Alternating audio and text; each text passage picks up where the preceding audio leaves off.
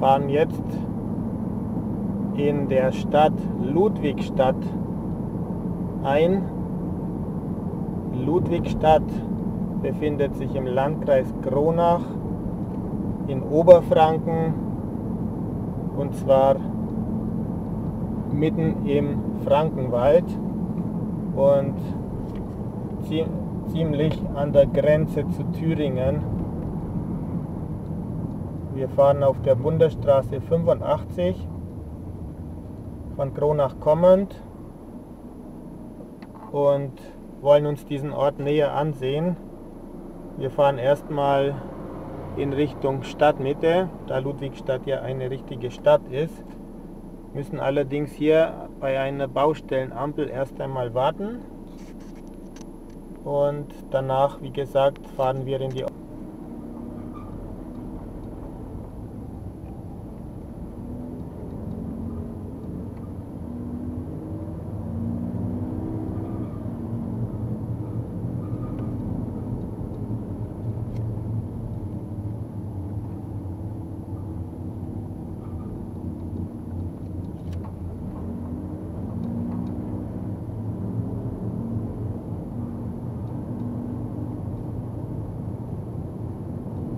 hier ist wirklich der letzte Zipfel von Oberfranken. Von Bayreuth kommend fährt man über 80 Kilometer, um in diesen Ort hier zu kommen. Und von anderen Städten ist es ähnlich, weit entfernt.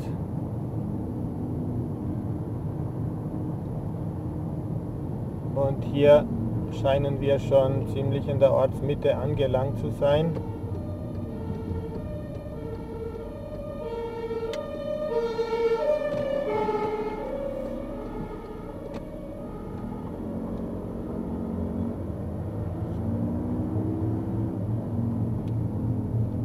Einiges los hier. Sollte man nicht für möglich halten. So.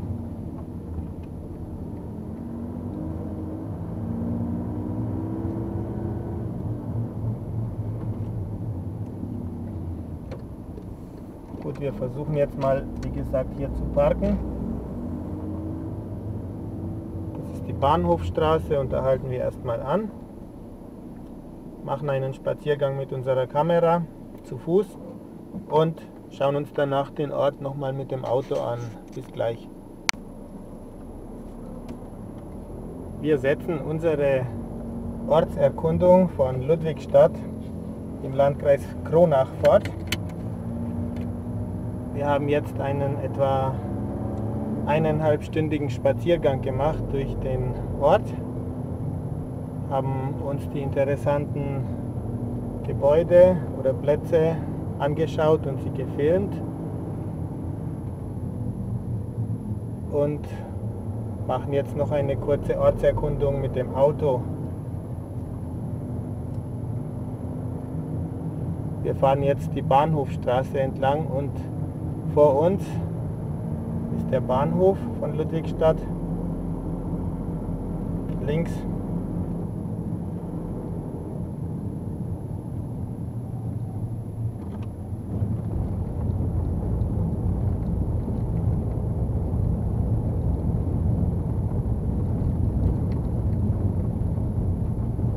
werden wir natürlich wenden. Ludwigstadt liegt mitten im Frankenwald, ist aber schon an der Grenze zu Thüringen gelegen. Von hier hat man einen schönen Blick von oben auf Teile des Ortes. Man sieht, die Stadt ist umgeben von Hügeln, die bewaldet sind zum größten Teil.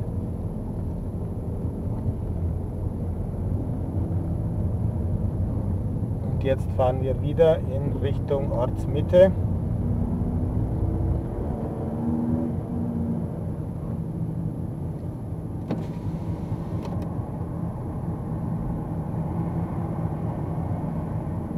Ludwigstadt gehört noch zu Oberfranken. Allerdings, wenn man durch die Straßen läuft, hört man ziemlich wenig den fränkischen Dialekt. Man hört viel mehr, ja, ich kann es nicht so genau beurteilen, ich sage jetzt mal so thüringisch, hört sich für mich an wie sächsisch, kann das nicht so gut unterscheiden. Allerdings hört sich das auf keinen Fall mehr fränkisch an, so wie ich das gewohnt bin. Die Frage lautet, ob die Bewohner dieses Ortes bereits diesen thüringischen Dialekt sprechen oder ob das alles Leute sind, die hier sich angesiedelt haben von irgendwo anders. Wir sind jetzt auf der Hauptstraße, auf der B85 und fahren weiter in Richtung Landesgrenze Thüringen, Richtung Norden.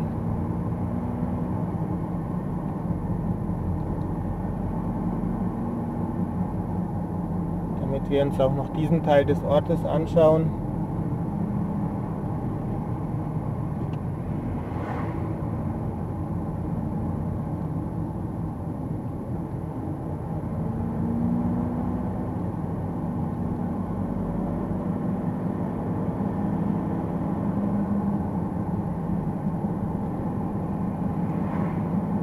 Gibt es einen Netto Supermarkt. Da werden wir mal kurz hinfahren.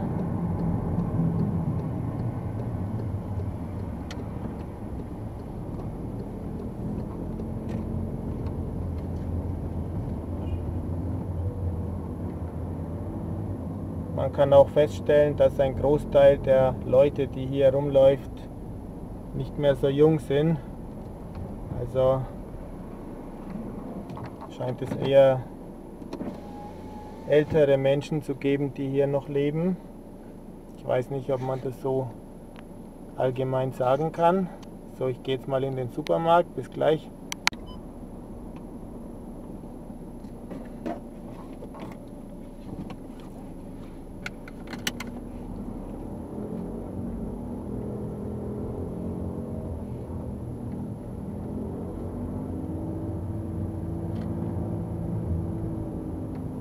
So, jetzt sind wir wieder auf der Bundesstraße 85 und fahren in den Ort hinein, von Norden kommend.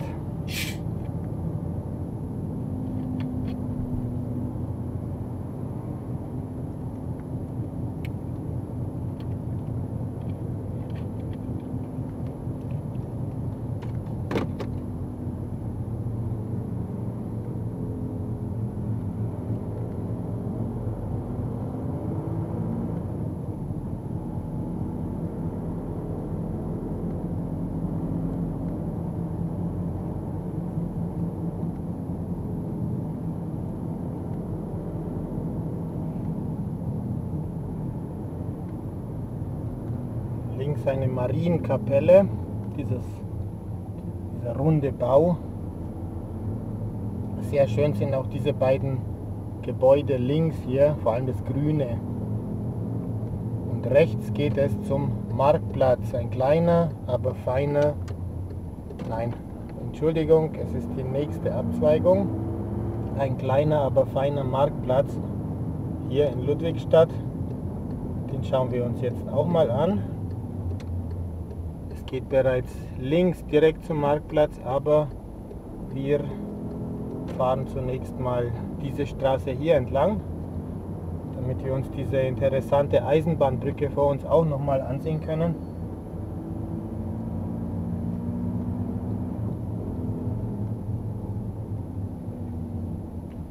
So, dann fahren wir noch ein Stück geradeaus, einem kleinen Bach entlang, der links von uns ist. Links eine Gaststätte. Natürlich eine, die es nicht mehr gibt.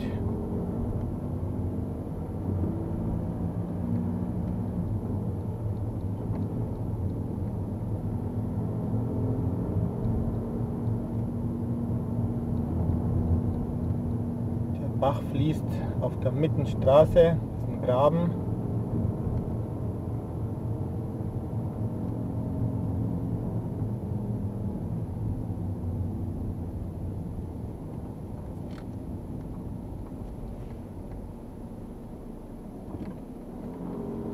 hier noch ein paar Meter weiter. Hier ist ein Skilift ausgeschildert.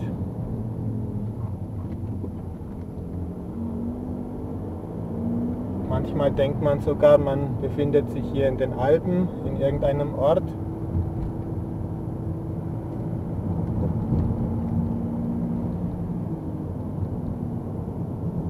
Aha, da geht es immer noch weiter. Nehmen wir die paar Häuser hier auch noch mit.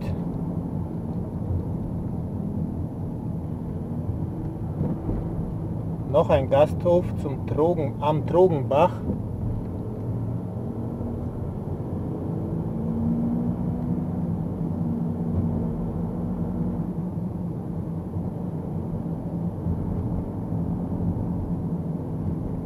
Zieht sich ganz schön diese Straße hier.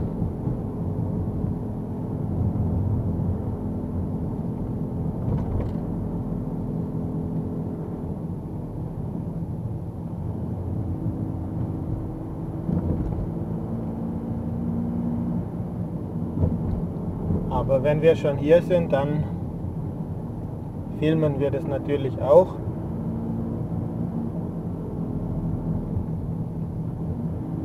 So, hier scheint aber nun das Ende erreicht zu sein. Da ist der Ort zu Ende. Und es geht wieder zurück.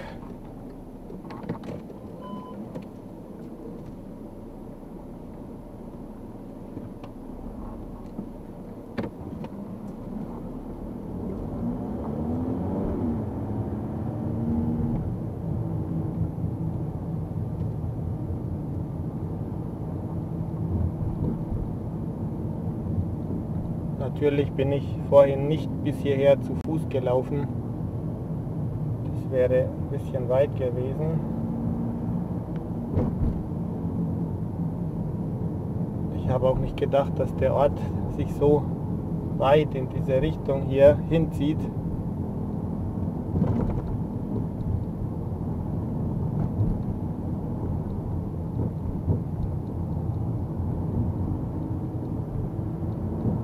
Jetzt fahren wir wieder in Richtung Marktplatz, den wir uns unbedingt natürlich noch ansehen.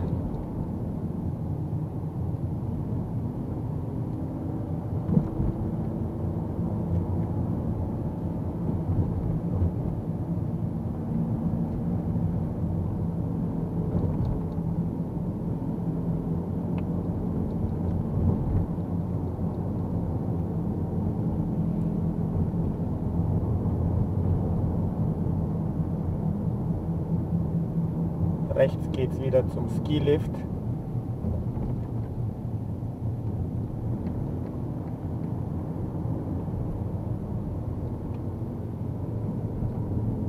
Wir fahren geradeaus weiter in die Rosengasse.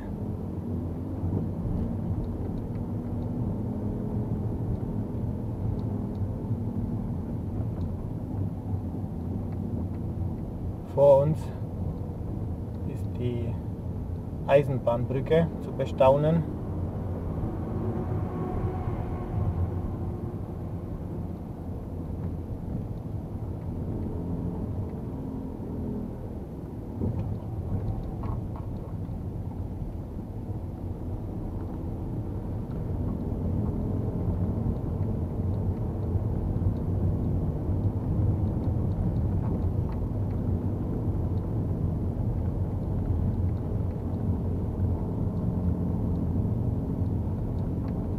Jetzt sind wir unmittelbar unter der Eisenbahnbrücke.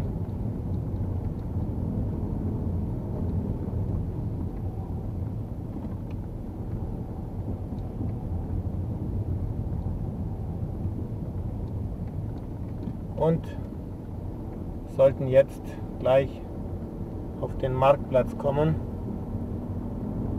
Der ist direkt vor uns.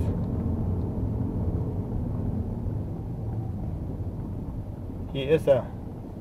Das ist der Marktplatz von Ludwigstadt.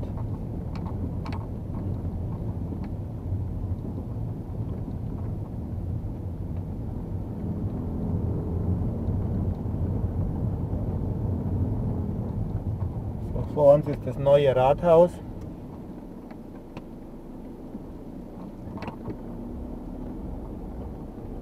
So, hier in dieser Straße waren wir bereits und versuchen hier, hier darf man nicht rein, ist mir auch ein bisschen zu eng. Das heißt, ich muss trotzdem wieder geradeaus fahren. Und wir biegen jetzt wieder in Richtung Marktplatz ab. Vielleicht fahren wir mal durch diese Straße hier durch. Das ist die Marktgasse. Auch eng, aber man schafft es.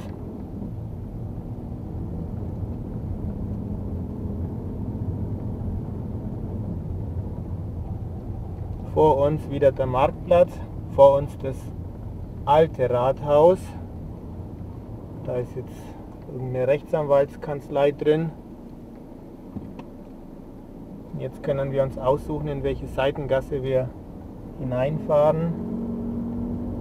Vor uns auch die Kirche, in der war ich drin. Nehmen wir mal die Mühlgasse.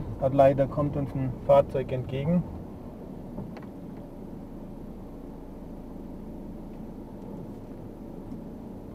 jetzt ist der Weg frei durch die Mühlgasse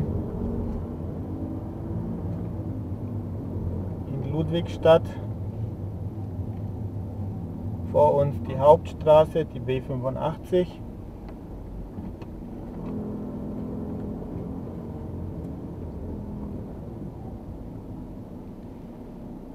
Wir biegen nochmal nach links ab.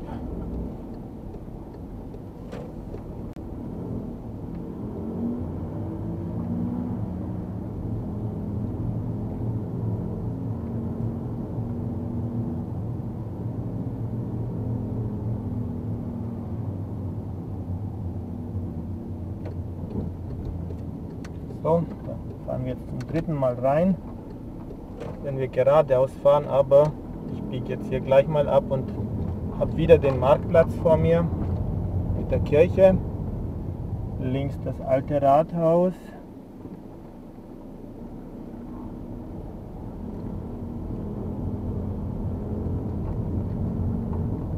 Da ist die Mühlgasse, durch die wir durch sind. Und wir fahren mal nach rechts haben wieder diese Eisenbahnbrücke vor uns.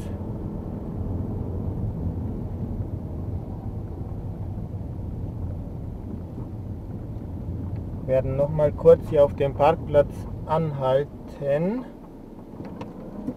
damit wir noch etwas filmen.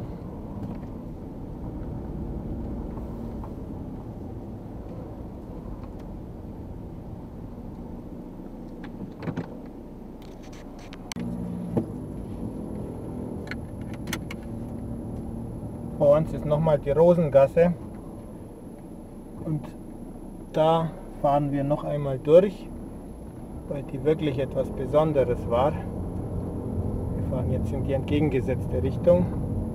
Rechts von uns eine Gaststätte, die es leider nicht mehr gibt. Die Gaststätte Torpeter. Sieht sehr schön aus von außen. Sehr idyllisch.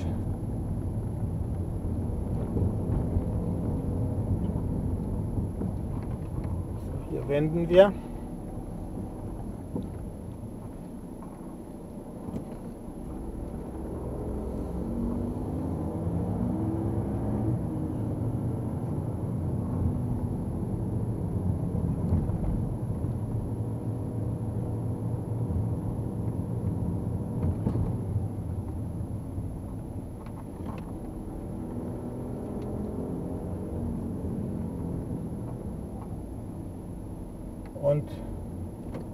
biegen noch einmal in diese Anliegergasse hier.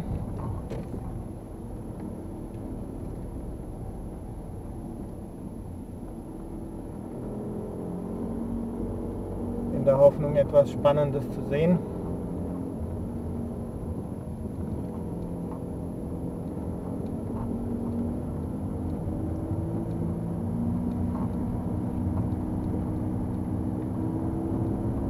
erstmal bergauf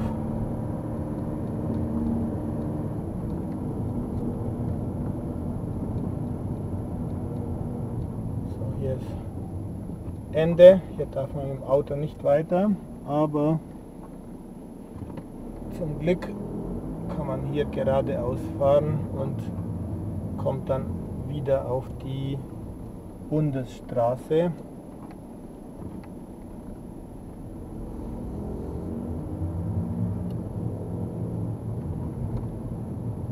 Nochmal ein Blick von oben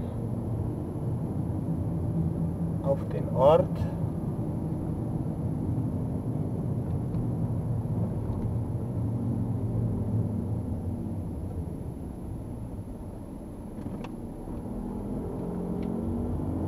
Vor uns befindet sich die Bundesstraße wieder.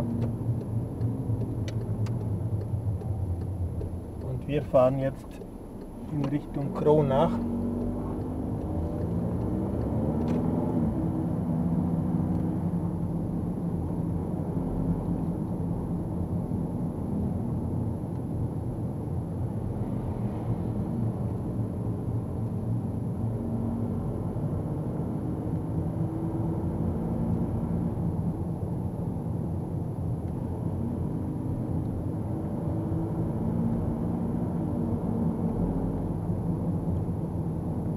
Könnte sich links noch einmal diese eine Straße hier ansehen, ob man hier vielleicht etwas verpasst. Ich weiß nicht, wie es hier weitergeht.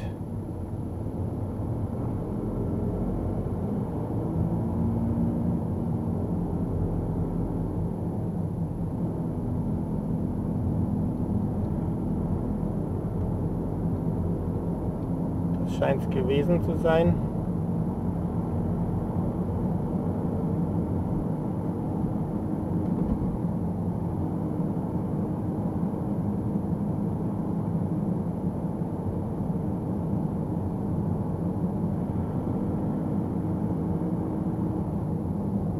Ja, hier wenden wir. Da fahren wir noch ein bisschen weiter. Man kann da vorne vielleicht wenden.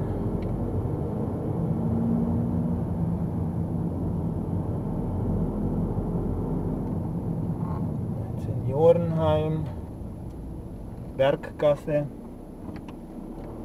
Hier wenden wir.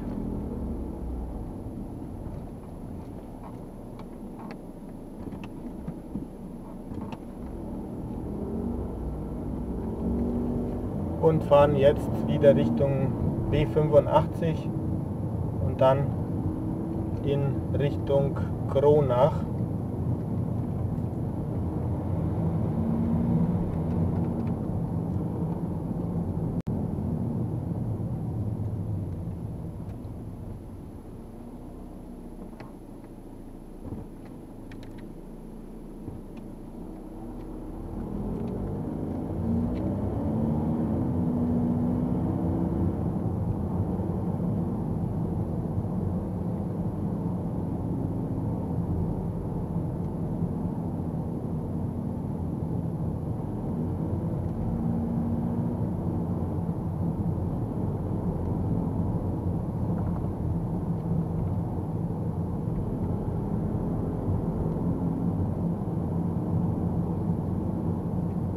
Alles in allem kann man sagen, Ludwigstadt ist ein sehr netter, gemütlicher Ort.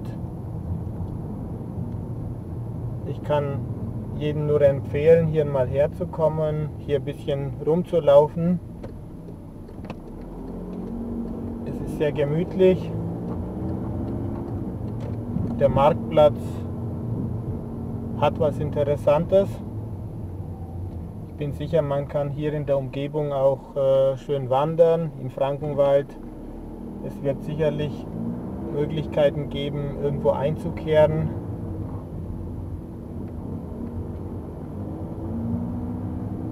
Dazu hatte ich leider jetzt keine Zeit, mich in eine Gaststätte zu setzen. Aber wenn man irgendwo in Oberfranken wohnt, dann kann man sicherlich auch mal nach Ludwigstadt kommen und sich diesen, diese kleine Stadt mal näher ansehen. Mir hat sie sehr gut gefallen. Wie gesagt, sie hat mich zum Teil ein bisschen an die Alpen sogar erinnert, also an eine, an eine Stadt in den Alpen, durch diese Hügel hier um die Stadt herum. Und ja, das war es erstmal aus Ludwigstadt. Ich verabschiede mich. Tschüss, bis zum nächsten Mal.